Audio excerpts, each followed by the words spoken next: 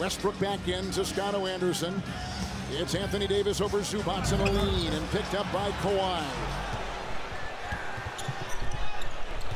Leonard, two-time champion, and a fadeaway is in. Well, he's not wasting any time, Is that right? five seconds, six seconds? How many seconds is that? I mean, you talk about instant offense here.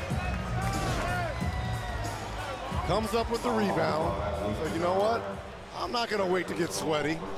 Let me go straight at it. Dribble penetration, patent fadeaway.